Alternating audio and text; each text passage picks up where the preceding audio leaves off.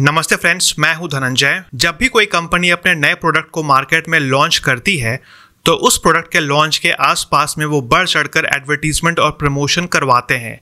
इसका फ़ायदा ये होता है कि जो पॉसिबल बायर्स होते हैं, उसको अट्रैक्ट किया जाता है और साथ में उनके जो सोचने समझने का शक्ति होता है, उसके ऊपर भी कुछ इन्फ्लुएंस क्रिएट किया जाता है। कुछ ऐसा ही हमें देखने को मिलता है जियो में भी, जहाँ पे यूएसए और कुछ वेस्टर्न कंट्रीज़ जब मैं कुछ वेस्टर्न कंट्रीज़ कह रहा हूँ तो आप बाई डिफ़ॉल्ट इसमें यूके को आप कंसिडर कर लेना।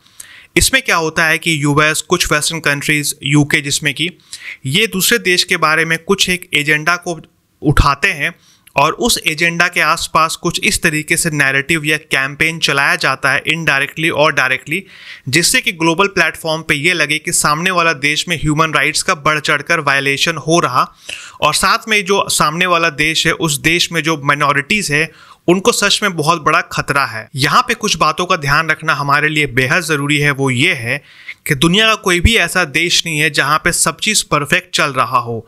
और जहाँ तक बात किया जाए भारत के बारे में तो भारत एक सच में अपने आप में काफ़ी कॉम्प्लेक्स देश है, जिसको समझने के लिए आप जब तक ये भारत में नहीं रहेंगे, तब तक आपको भारत समझ में नहीं आएगा। इसी में यूएस का एक कमीशन है, जिसका नाम है US C I R F C I R F का फुल फॉर्म होता है कमीशन ऑन रिलीजियस फ्रीडम इसके द्वारा एक एनुअल रिपोर्ट पब्लिश किया गया, जहाँ पे बताया गया कि भारत में जो रिलीजियस फ्रीडम है, इसको खतरा पहुँच रहा और लगातार कुछ सालों से जो रिलीजियस फ्रीडम है, उसको और भी नुकसान पहुँचा है। यहाँ पे कुछ बातें मैं बहुत ही ऑनेस्टली एडमिट करना चाहूँगा, जो कि एडमिट करना बेहद ज़रूरी होता है। एक तो हमें समझना है कि भारत का जो पॉलिटिकल स्ट्रक्चर है, वो कैसा है। तो हम एक डेमोक्रेटिक स्ट्रक्चर में रहते हैं, जहाँ पे बढ़ चढ़कर पॉलिटिकल पार्टीज़ अपने अपने जो वोटर्स होते हैं, उसको अट्रैक्ट करते हैं। इसी प्रोसेस में ये होता है कि जिस भी पॉलिटिकल पार्टीज़ को जितना अधिक सीट मिल जाता है, यानी कि जो वोट मिल जाता है उसकी वो सरकार बन जाती है। तो नॉर्मली माना जाता है कि एक कुछ ग्रुप्स होते हैं, वो अपने फेवरेट पॉलिटिकल पार्टीज़ को ही सपोर्ट करते हैं। तो उस टाइम पीरियड में क्या होता है कि बहुत सारे ऐसे कमेंट्स किए जाते हैं, जो शायद करना या डेफिनेटली करना गलत रहता है। खास करके जब रिलीजियस कमेंट किया जाता है तो वो तौर तरीका बिल्कुल भी अनएक्सेप्टेबल होता है। लेकिन कहीं ना कहीं जो हम वोटर्स हैं, हमें भी ध्यान रखना चाहिए कि हम उस तरीके का जो रिलीजियस स्टेटमेंट दिया जाता है पॉलिटिकल पार्टीज़ को, उसको हम कंप्लीट तरीके से रिजेक्ट करें और जो हमारा वोट रहे या जिसको भी हम वोट दें, वो सिर्फ़ और सिर्फ़ डेवलपमेंट के आसपास ही हम रह के वोट दें। लेकिन अनफॉर्चुनेटली ऐसा देखने को नहीं मिलता है। क्योंकि भारत एक कॉम्प्लेक्स देश है, इसलिए बहुत बार ऐसा भी होता है कि दो ग्रुप में लड़ाई सिर्फ़ और सिर्फ़ अपने पॉलिटिकल एजेंडा को साधने के लिए होता है।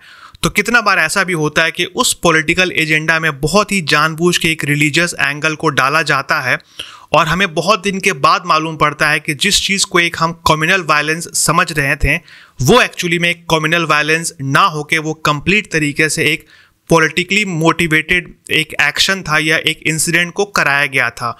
और इसके पीछे कहीं ना कहीं जो वोट बैंक की राजनीति है, वो रहती है। इन्हीं सबको बेस बनाया गया है रिसेंट जो रिपोर्ट पब्लिश किया गया है यूएस कमीशन के द्वारा। अब जब भी यूएस के द्वारा इस टाइप का को कोई भी रिपोर्ट को पब्लिश किया जाता है तो हर एक छोटा छोटा मुद्दा काफ़ी बड़ा मुद्दा हो जाता है और कुछ वैसे भी देश जिनके जिनके संबंध हमारे साथ अच्छे नहीं हैं, वो इन सब मुद्दा को एक बहुत ही बड़ा मुद्दा बना देते हैं। और जहाँ तक बात किया जाए यूएस के बारे में तो ऐसा नहीं है कि यूएस में सब चीज़ परफेक्टली फाइन चल रहा। यूएस में बहुत ही टारगेटेड तरीके से रेशियल अब्यूज़ किया जाता है। गन वायलेंस में बहुत सारे लोग मारे जाते हैं। तो अगर आप यूएस के बारे में बात करें तो उनके पास खुद के बहुत सारे कंसर्न्स हैं। लेकिन क्योंकि यूएस को अपना हेजीमनी इस्टेब्लिश करना है पूरे दुनिया में तो इसीलिए वो अपने मसले में कम ध्यान देता है और पूरे दुनिया में घूम घूम के किसके अंदर कितना प्रॉब्लम है, वो दिखाता रहता है। अब क्योंकि बहुत ही गलत तरीके से भारत को प्रेजेंट किया गया, इसीलिए जो हमारे मिनिस्ट्री ऑफ़ एक्सटर्नल अफेयर्स के spokesperson Randhir Jaiswal sir हैं, उनका बहुत ही स्पष्ट तरीके से कहना था कि जिस तरीके से कमीशन के द्वारा रिपोर्ट पब्लिश किया गया है, ये कंप्लीट तरीके से एक बायस्ड ऑर्गेनाइजेशन है और इसको इंडिया के बारे में नहीं पता है और गवर्नमेंट ऑफ़ इंडिया ऑफिशियली इस चीज़ को बहुत ही कड़े शब्दों में इसकी निंदा करता है और इस रिपोर्ट को वो रिजेक्ट करता है। कभी एक दौर हुआ करता था जब पूरे दुनिया को यूएस का ये सारे प्रोपेगेंडाज नहीं पता होते थे। लेकिन आज के डेट में, खास करके बीते पंद्रह सालों में हम कह सकते हैं कि जिस तरीके से डोनाल्ड ट्रंप संभाले हैं या जो बाइडन यूएस को संभाले हैं यूएस का जो हिपोक्रेसी था वो पूरे दुनिया के सामने आ चुका है। जैसा कि हमें पता है कि पूरे दुनिया को बढ़ चढ़कर सबसे अधिक वेपन्स यूएसए ही बेचता है। तो इसका जो साइड इफ़ेक्ट है या इसका जो असर है वो खुद हमें यूएस में भी देखने को मिलता है।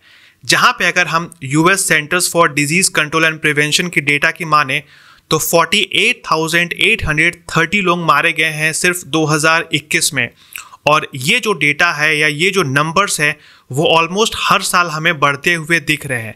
तो कहने का मतलब है कि जिस तरीके से यूएस के खुद के अंदर इतनी सारी कमियाँ हैं सिस्टमेटिक तरीके से वहाँ पे जो ब्लैक लोग हैं उनके ऊपर अब्यूज़ किया जाता है उनके करियर ग्रोथ में एक बहुत ही बड़ा रुकावट जानबूझ के पैदा किया जाता है तो ऐसा नहीं है कि इन सब के बारे में यूएस अथॉरिटीज़ को नहीं पता है।